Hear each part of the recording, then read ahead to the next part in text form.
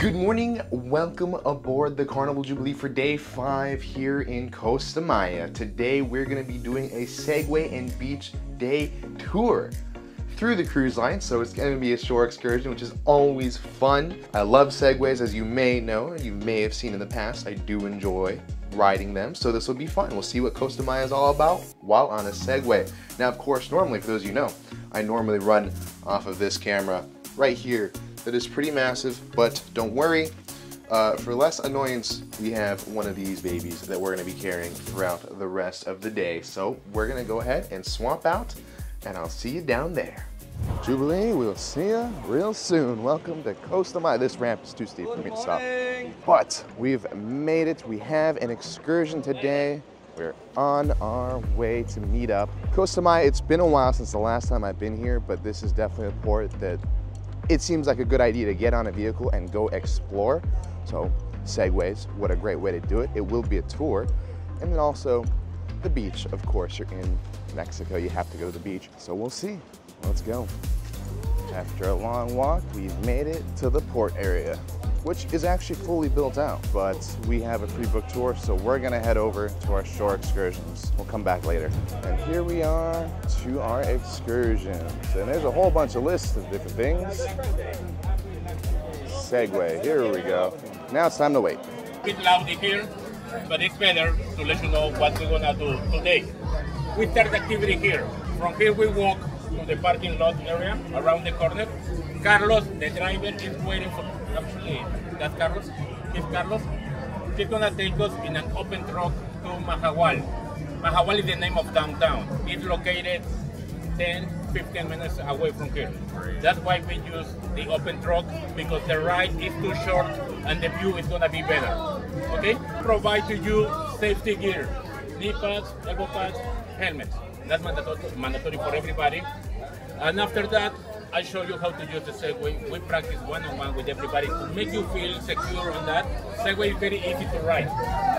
When everybody practice and as soon everybody feel ready, we do the Segway activity. During that time, we have a few stops in downtown. It's allowed to do shopping. It's gonna be allowed to take pictures of you on your Segways. The main reason of this stop is because after a while, we're gonna feel, uh, we're gonna feel the bottom of the feet kind of tingling or tired. So we must take a break. Okay? Two stops. After that, uh, uh, after the second stop, we go straight to the light, uh, to the beach club, where we're gonna get access to all the beach facilities. Drinks, food, or massage, they are not included. But you have enough time to buy something to drink or something to eat. Okay? I'll let you know how longer time we're gonna spend over there.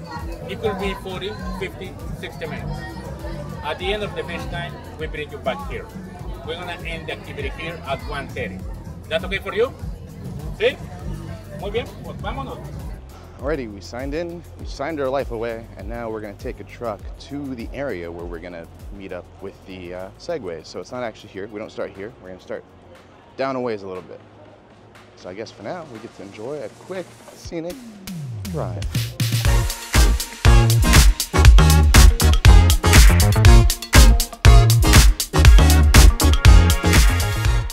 All right, got here, got all suited up. We have to wear knee pads and shoulder pad, not shoulder pad. What are these pads? Elbow pads. It's an elbow over there, not a nose, elbow. Yeah. So extra safe here than other places, but that's okay, I guess. Just a little annoying to wear, but it'll be fine. Now we're gonna learn how to drive a Segway.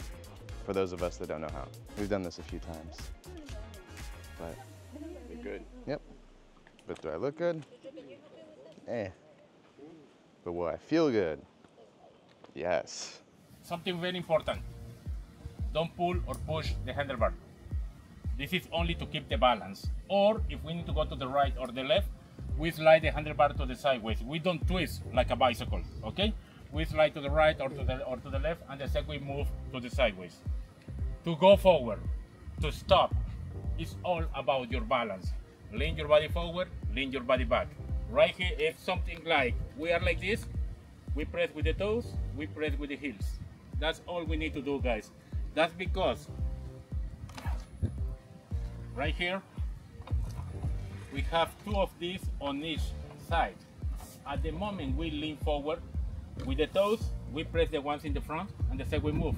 When we press with the heels, Segway stops, okay? One more time. I'm gonna repeat a lot this. Don't pull, don't push. Bien? It's like we get on the Segway, stand straight, relax. Don't be like this, okay? Just relax. We need to go to the right or to the left. Right, left. Don't make quick movements because Segway is very sensitive. We need to go forward. Lean forward. Lean back. Faster. Down. That's all we need to do, guys. Don't do this, okay? Now, I want to ask you something, uh, something very, very important. Um, first, I want to apologize because I did introduce to, to my co-workers, Isabel, Bianca. They are the they are the rest of the of the crew. Okay, they're gonna be with us. Wait for the ladies or wait for me to hold the segway at the moment you get on or get off. Okay, the proper way to get on. I recommend to you hold here one step at a time. Don't do this, but if you do it, that's okay. That, that happens to everybody. Trust in the Segway. Just hold it, feet position right in the middle, stand up, grab here. To step off, hold here, one big step in one move. Don't slide your feet. If I do this, the Segway move backwards very easy. So, we need to do a complete stop, big step, without pulling, without pushing. We ask you to wait for us because sometimes we try to step off very quickly. We do something like this, the Segway move to the sideways very, very easy. Okay? So please wait for us. We're gonna be right next of you during the whole tour, guys.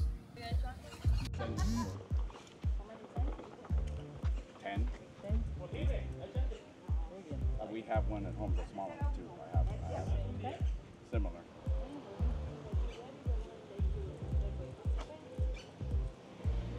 You done it before? Yep. Fifth positions, that one, a little bit more in front, muy bien. Uh, remember all the time, body straight, look ahead and keep your distance all the time, okay? Okay, thank you. Do a couple of rounds here and then when we feel ready, Alrighty, we're on. A little more secure and safety oriented on this one than the others, but that's fine. But hey, that's okay. Safety is the number one thing, right? But certainly, if you've seen my other videos in Ensenada, I've done this a few times, kind of familiar with it. And uh, we miss Gil, who's uh, a lot more liberal on certain things, but maybe that's not so good. But he doesn't have accents either. So for now, we're just gonna be spinning around, doing laps, trying to get used to things. Remember how to do it, Dad? Nope, don't know how to do it. You had a little rocky start there, you know. Yeah. Gotta step up smoother. I have to drive these for work, but we have the three wheels. It's kind of annoying that we have to wait for them to get off. Makes me miss Gil. See, the good thing is, is when you come here and if you don't have any Segway experience, they will take you, they'll walk you through it, they'll train you and everything, make sure you're good to go. Thankfully, they are a little bit nicer and kinder to those of us that already know what we're doing, and they just kind of let us go. Hey, stay away from me. So yeah, pretty simple stuff. Look at first time he got it in about one minute, two minutes maybe. But yeah, that's one of the greatest things about Segways is that they're super easy to drive. You don't really have to worry about them as much. As long as you have a good trainer and you listen to what they're telling you, in about a couple minutes, you'll be a professional. Maybe getting on, getting off is probably the most dangerous thing that you have to worry about, which in this case, they're not actually letting us do that on our own. So that's is what it is. But that's cool. So that means for those of you who are really new, you don't have to worry about getting on and off because they will be there to guide you, help you get off. But yeah, basically the way it works is you use your toes or you use your heels and you just kind of lean forward, you lean back, and yeah, that's just kind of how it goes. And you just push the stick one way or another, and that's how we turn. Simple stuff. If you've ever ridden a Segway before, you know how easy it is. And if you've never ridden one before, you should try it. It's definitely worth it. It's a lot of fun. I always enjoy it every time we do it. Hopefully, Costa Maya. A lot of people like to come to Costa Maya and do the golf carts, which is cool. Golf carts are cool, but I think Segways are a little bit more fun, a little bit more independent, and uh, different. They're different. They're a little different than a golf cart, obvious. They're a lot different than a golf cart. So they're definitely worth a try. Give it a shot. All right, looks like everyone's good to go, so we're gonna start heading out, finally. I could feel it in the motor, but it is what it is. This thing get used every day, or not every day, but every port day, so. Alrighty. We've lined up, and supposedly we're good to go. You could do a Segway, or your whole family can do a golf, a golf cart.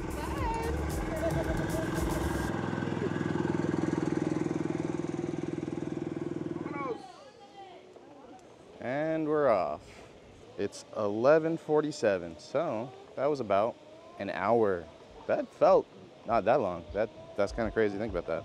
Tour started at 10:30, 11:47, and we finally riding away. Here's just a beautiful look at the beach as we pass by. It's uh, got a lot of seaweed today, so it does smell of the sea. That is. Um, I don't think that's a beach that I really want to go in.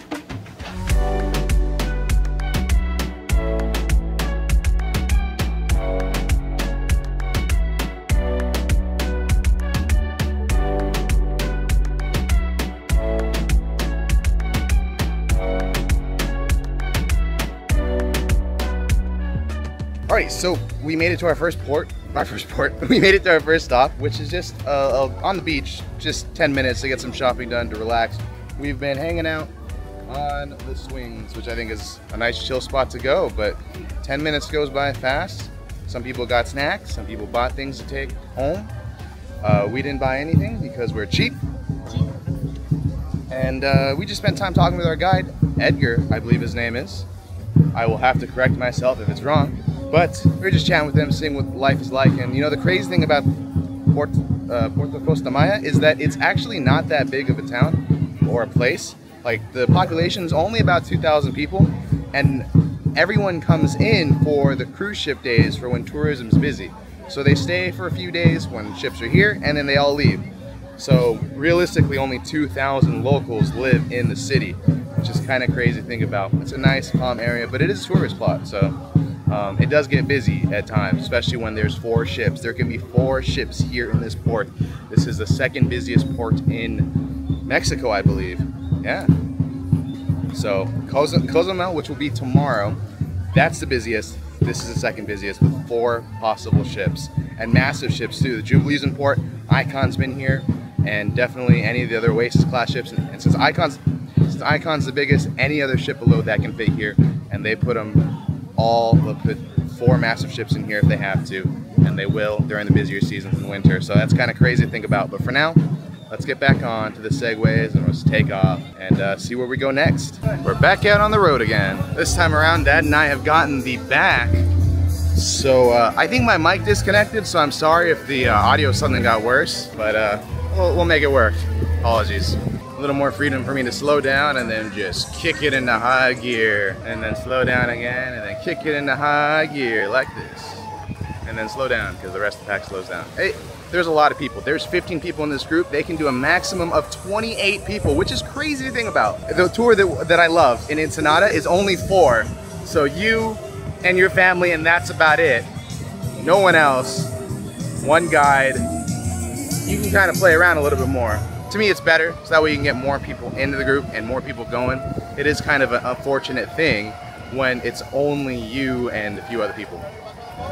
Like that just means there's so many, like that means not everyone can get it done, which kind of sucks. So more people can do the segways here in Costa Maya, so I'm a big fan, especially since there are four ships that can be here in port. Especially since we are on the Jubilee, which is 6,000 people, you know? You gotta get people where you can.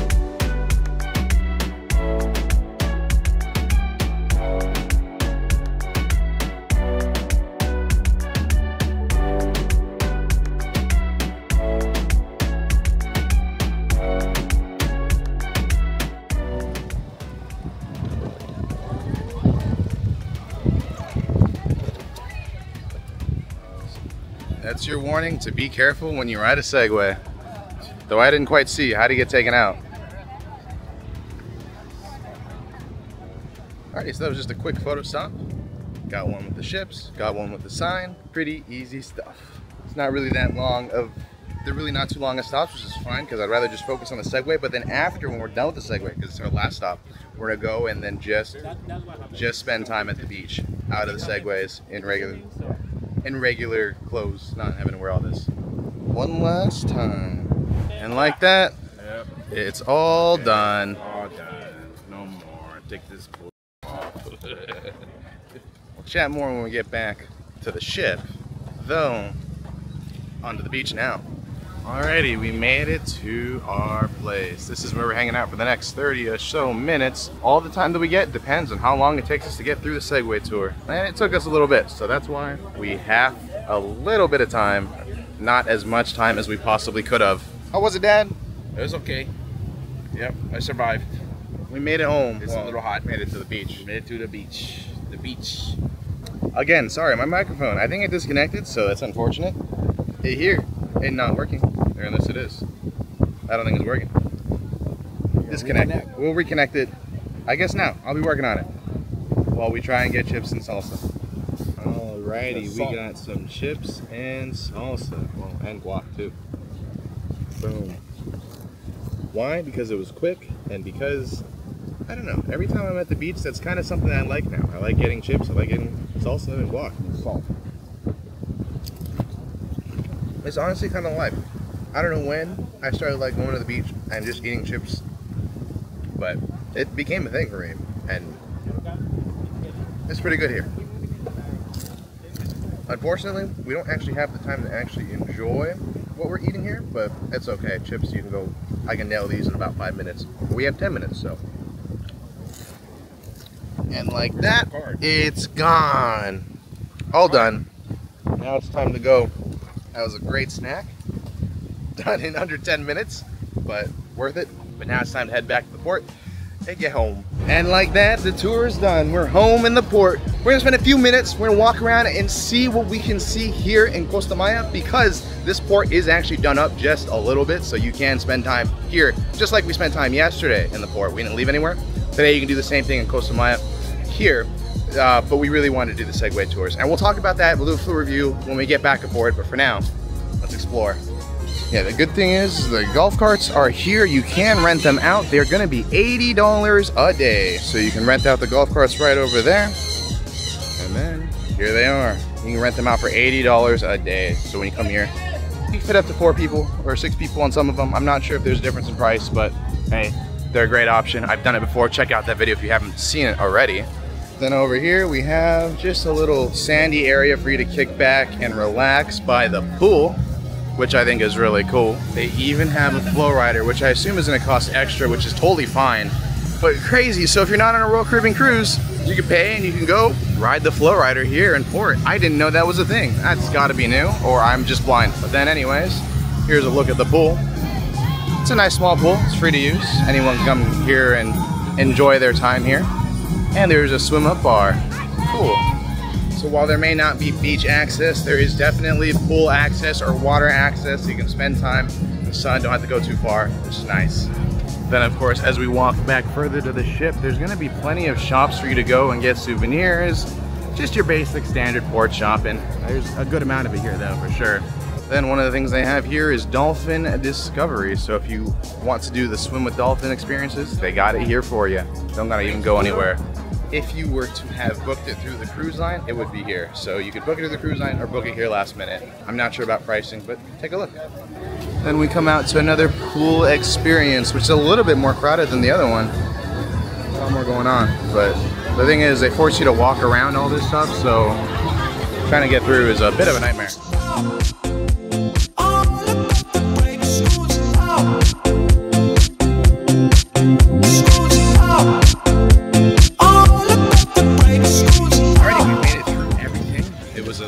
Nice zigzag snake all the way through all the shops, pools, and bars and restaurants. Uh, we got a brief moment to look at the, the sun flyers, which is really cool. And now I think it's just time to get back aboard. So let's go. Alright, so we made it back from Costa Maya. We're back aboard the Jubilee, home sweet home. I just really wanted to talk about Costa Maya and our excursion. Give a recap. Is it worth it? Is it not? Well, first of all, it was $90 a person to do the excursion, which is a little pricey for a Segway tour, but it wasn't at the same time. It was a three hour tour, but only about an hour of it was actually on the Segways. The rest of the time was transportation to and from. We spent a little time on the beach, and then also we had to spend a lot of time for those who needed to learn how to actually ride the Segways. So if you've never driven a Segway before, this is your first time, I absolutely recommend doing it. This is a great way to start. They're very careful, they're very meticulous on making sure that you get it down. They're there every step of the way when you get on, when you get off, everything. Little more annoying for me who has done it before, who doesn't necessarily need the babysitting, no offense. But when you do a Segway, you'll find that they're really easy and after a few goes, you're gonna be a professional at it. You don't really need that hand holding like they are doing. It's good for when you start, but as you get better at it, it just feels like you're getting restricted, which is how dad and I felt. We've done quite a few Segway tours, not just on the channel, but other times we have we have lots of experience with the Segway, so we don't necessarily need that hand holding. But if you've never done it before, you don't have to worry because you're gonna be in great hands. Totally safe. One person did fall, but that was they were okay in the end of it. They make you wear knee pads, elbow pads, and a helmet, so you're good to go. Thankfully, nothing too crazy. The guy got back on it right after and was totally fine. So good for first timers, maybe not so great for those who are more intermediate or advanced. Maybe look for a different tour or skip this one. But then overall, then the, the beach portion wasn't exactly the best beach because it's Segway and beach. It wasn't a very beachy beach. It was just one little restaurant that we went to and got dropped off of and we spent 20 minutes. We could have spent longer had we finished the Segway tour faster, but it didn't seem like it's something that we really wanted to spend too much time in anyways. Sorry, I'll go ahead and hold and let you pass. We want to be on there too. Oh, you can be in there too. what was I saying? Oh yeah. So the beach portion of it, I could have done without it. I really didn't need it. I would have spent, more, I would have preferred more time on the Segway, but I get it. It's a Segway beach experience.